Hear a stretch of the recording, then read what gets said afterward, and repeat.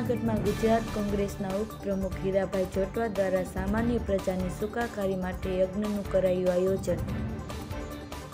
જૂનાગઢમાં વર્ષોથી પડદા માટે જાણીતું એક જ સ્થળ જ્યાં તમને જોવા મળશે પડદાની વિશાળ રેન્જ સાથે નવા ફર્નિચર અને સોફા ઇન્ટેરિયર ડિઝાઇન મુજબ બનાવવા માટે એક મુલાકાત અવશ્ય લ્યો તળાવ દરવાજા સહયોગ ચેમ્બર સામે જૂનાગઢ. જૂનાગઢ બેલખા ખાતે આવેલા રામનાથ મહાદેવ મંદિરને ભારતની પ્રજાની સુખાકારી માટે તેમજ પીડિત ખેડૂતોની સમસ્યાઓને હળવી થાય અને સામાન્ય લોકોનું કલ્યાણ થાય તે હેતુથી હંમેશા ધાર્મિક કાર્યોમાં રુચિ રાખનાર અને પ્રજાના પ્રશ્નોને ન્યાય માટે તત્પર રહેનાર કોંગ્રેસના નેતા હીરાભાઈ જોટવાએ રામનાથ મહાદેવના મંદિરના સાનિધ્યમાં જાણીતા કથાકાર મહાદેવ પ્રસાદ મહેતા દ્વારા યજ્ઞના મંત્રોચ્ચાર કર્યા હતા.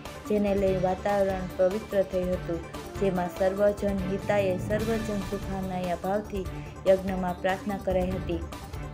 આ તકે પૂર્વ ધારાસભ્ય ભીખાભાઈ જોશી, મનોજભાઈ જોશી, ભરતભાઈ અમીપરા, પ્રદેશ ઉપપ્રમુખ રાણાભાઈ કોટી, યાતર લલિતભાઈ પરસણા એડવોકેટ ભરતભાઈ રાવલ વગેરે મહાનુભાવો તેમજ ધર્મ, ધર્મપ્રેમી જનતા હાજર રહી હતી.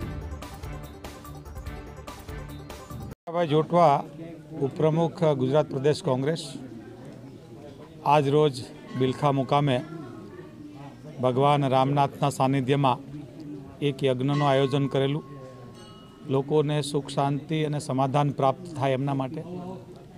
જ્યારે ખેડૂતો દુઃખી હોય, મજૂરો, કર્મચારીઓ, નાના વેપારીઓ, નાના ઉદ્યોગપતિઓ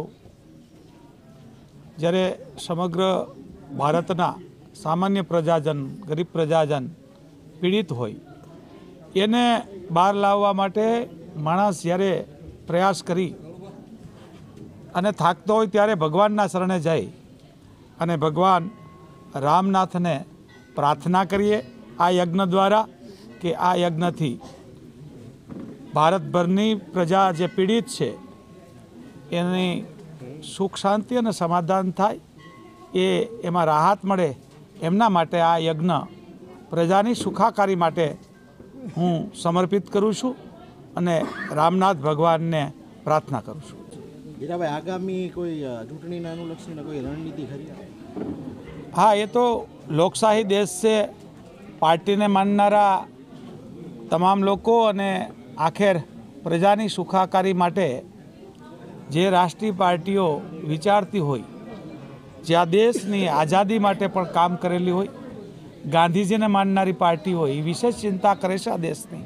ત્યારે રણનીતિ અમારી એ જ છે કે અમારી સાથે પ્રજા છે ને પ્રજાની સાથે અમે છે, એ જ અમારી રણનીતિ છે.